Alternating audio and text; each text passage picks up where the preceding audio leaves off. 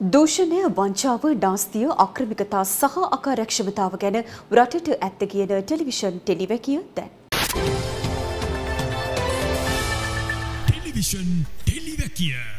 අදලියන්නේ හාරසිය එකොලොස් වැනි ටෙලිවැකිය. මතකද මේ අපි පුංචිකාලේ ඉගෙන ගත්තා අර මේ පාරදිගේ අමූ නිර්වස්ත්‍රාවෙන් දුවපු කෙනෙකු ගැන නේද. ඔවු හරියට හරි. ඕ ඔබ හිතන කෙනා තමයි. ආකිමිඩිස් නේද. ඔවු ආකිමිඩිස් මේ අර යුරේකා යුරේකා යුරේකා කියමින් නේද. එකැනෙ මම හොයාගත්තා මම හොයාගත්ත කියලා දුවපු කතාව මතකයින අපිට නේද. මිනිහා නාන බේසමකට බැහැපු වෙලාවේ. ඒ නාන බේසමෙන් පිටවුණු ජලය ප්‍රමාණය උන්දගේ ස්කන්දේට ඒකැනෙ උන්දගේ බරට සමානයි කියලා ආගේ නියමේ හොයාගත්ත නේද. දැන් ඔය ඒ වෙනකොට මේ ආකිමිඩිස් හිටියේ බරපතල ප්‍රශ්නයක. මතකද? රජ්ජරුවෝ මේ මනුස්්‍යයට දුන්නා නේද? මාර ගැටලුවක් විසදන්ට මතකද? රජ්ජුරුවන්ට ඕන වුණා එයයිගේ ඔටුන්න හදන්න දෙන රත්තරංවල නියම බර. ඔටුන්න හැදුවට පස්සෙත් තියෙනවාද කියලා බලාගන්ට නේද? එකැනෙ හොරාකයිද කියලා බලන්ගේහම හැම කාලෙම හොරු තමයි. හොඳේ හොරාකනයක තිබිලා තියෙනවා. හරි? හොඳලට ඒක මෙහි කතාවක් නෙවෙයි. හොඳේ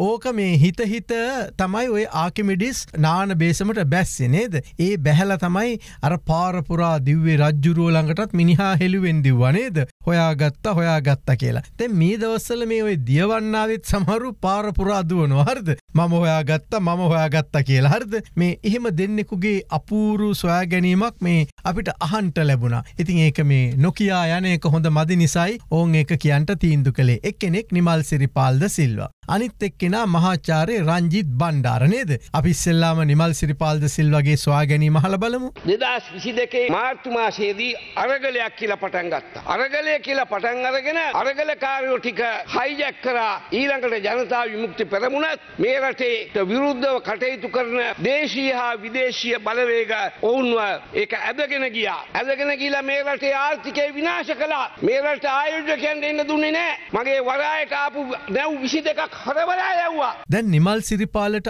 ආපු නැව් විස්සක් අර අරගලකාරින් හරෝල යව්වලු. රට්ටම බංකුලොත්තුනාලු ඈ? උන්දට ආපු නැව් විස්ස හරෝල ගිය නිසානේද සීනි අරංආපු නැව්ද දන්නේ නෑනේද සමහරක් වෙලාට සීනි නැව්වෙන්ට ඇති. නැත්තං කුස්කුස් එහෙම අරංආවේවවෙන්ටත් පුළුවන්නේද ඔය තරම්ම ඉතින් නැව් විස්සක් ගහම රටක් බංකොලොත්තෙන්ට ඈ? ඒ විතරක්යයි නේද? ප්‍රකෝටි ගණන් විදෙස්විනිමේ අරන් සිරිපාලව බලන්ටෙන්ට හිටපු. සිරිපාල හා රන් මැනික බලන්ටෙන්ට හිටපු සංචාරකින් ආවෙත් නැහැල්ලු නේද? යාපෝට් එක හදන්ටාපු අර මේ ජපන් කොම්පැනිය එහෙම ආපහු හැරලගිහිල්ල තිබුණෙත් අරගලකාරීන් උන්දලගෙන් කොමිස් ඉල්ලපු නිසාවෙන්ට ඇති මය හිතේ. හොඳේ ඉළඟට මහච්චාරය රංජිත්ගි කතාව. ඇත්තරම පව් කියලා හිතෙන්නේ නැද්ද? ආල බලන්ටකු ගෝටාබේ රාජපක්ෂ ජනාධිපතිවරයා තමන්ගේ ප්‍රතිපත්ති ප්‍රකාශය මගින් පැවැති අපහසුතාවයන් සමනය කරන වැඩපිළිවෙලක් යෝජනා කරා. ඒ ගමන අඩපන නොකලා නම් මේ කුමන්ත්‍රණයට හවුල්වෙච්චි පිරිස හොඳාකාරෝම දැනගෙන හිටියා අවුරුදු විශ්සකට ඒගමන අපහු හරවන්න පුළුවන්කමක් නෑ කියලා. ගෝටාබේගේ සැලැස්ම ක්‍රියාත්මක වනානං ආපසු අවුරුදු විශ්සකට රට ආපස්සට හරවන්ට බැහැල්ලු.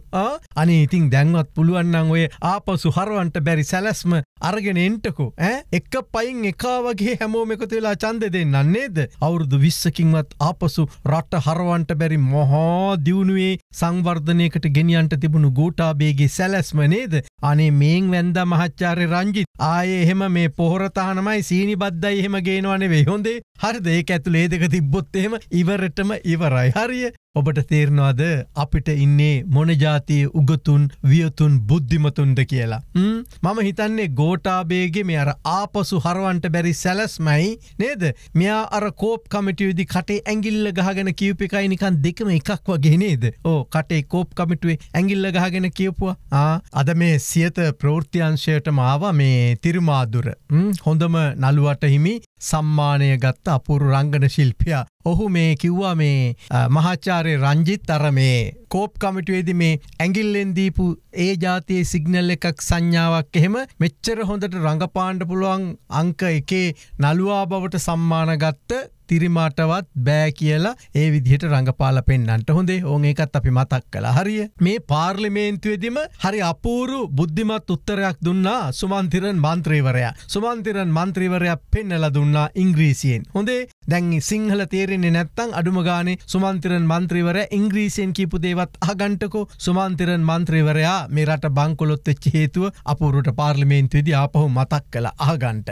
Surely the Rajapaksa brothers have enough money to pay the 22 million people in this country. Surely if compensation has been ordered, all the money that is parked outside the country, can be brought and the country's economy can be revived just on that alone. Bring that money into the treasury and that would have seen the revival of this country's economy. රටට මොකද වනේ කියලා ශ්‍රේෂ්ඨාධි කරන තීන්දුවත් සඳහන් වෙනවා. දැන් ඉතිං මේ ජාතිය උන්දලාව තව අවුරුදු විස්සත්තිහක් නෙමෙයි හැටක් ඔය පාර්ලිමේන්තුවට යව්වත් ඕන් ඔච්චරම තමයි හොඳේ ආයේ මේ රට ගොඩ්ඩ ගැනිලි බොරු. හරිද හෙට අනිද්ද ටෙලිවැකියකින් පෙන්න්න නම් ඔය පාර්ලිමේන්තුව ඇතුළට ගිහිල්ල අවුරුදු විස්ස විසිපහත් තිහ හතලිය දිරාපත් වෙච්චි මේ උන්දලා මේ ලස්සන රටත් දිරාපත් කරමින් මොකද කළේ කියලා හොඳේ ඔවු ඉදිරි ටෙලිවැකයකින් බලමු. එමනම් අද ඉතිං අර නිමල් සිරිපාල්ද සිල්වයි මහාචාරය රංජිතුයි ස්වාගත්ත නේද හොයාගත්ත හොයාගත්ත කියලා ආ උන්දල දෙන්නාම දූපු එක දිහා හොඳට කටඇරල බලන්ට කියලා ඕන් ටෙලිවැකිය අවසන් කලා.